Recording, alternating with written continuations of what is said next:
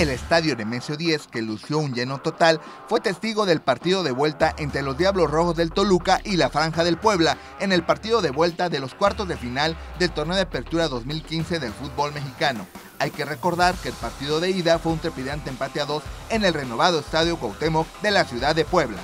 La franja desde el minuto 1 salió con la firme convicción de buscar la portería del Toluca y apenas al minuto 2 se vino la jugada polémica cuando Luis Gabriel Rey entró al área para controlar el balón y el capitán Diablo, Paulo César da Silva, lo recargó por la espalda en un claro penal que silbante Francisco Chacón, que estaba muy lejos de la jugada, no quiso marcar como pena máxima, pese a los reclamos de los jugadores poblanos que no se explicaban cómo fue que el árbitro no marcara la falta.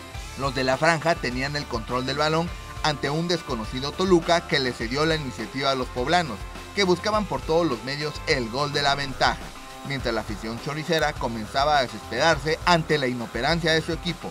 El primer tiempo terminó y los siguientes 45 minutos eran a matar o morir. Un solo gol para cualquiera de los dos decretaría el pase a las semifinales. Para la segunda mitad, Toluca entendió que no podía dejar en los pies del rival su destino y comenzaron a tomar el control del juego y a tener llegada en la portería de Campestrini, quien una vez más demostró su gran calidad. El Puebla también tuvo sus aproximaciones cuando Acosta disparó, sin embargo Talavera estaba atento para desviar el balón por un lado.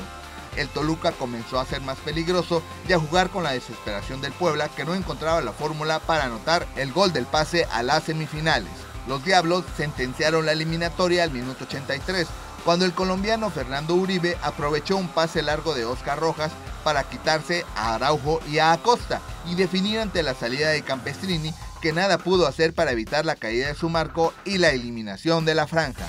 Puebla no se supo reponer del golpe del gol del Toluca y el partido terminó sin muchos apuros en el marco de los locales. El marcador global terminó 3 goles a 2 a favor de los Diablos Rojos, quienes ya están entre los cuatro mejores del fútbol mexicano.